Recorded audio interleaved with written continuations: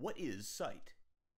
Often in research, we see metrics conveying how many times a paper or an author was cited.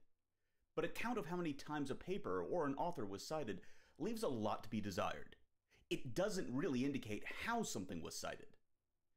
Even if something was used as a reference 500 times, were its claims supported in each of those instances? Or did newer research indicate disagreement from their findings? How did others interpret the study and what they say about it? scite transforms citations from a superficial number into a conversation through smart citations.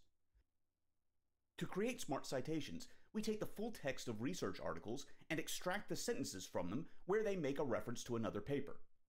Our system classifies each of these statements as being supporting, mentioning, or contrasting the relevant cited claims.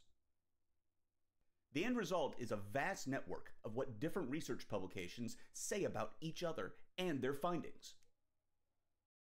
You can more efficiently build up a quantitative and qualitative understanding of how any individual or any group of research papers has been cited by the broader literature. scite has various features that build around this network of conversations to help researchers, consultants, policymakers, students, and more better understand and evaluate research as well as enable them to make evidence based decisions directly from the literature.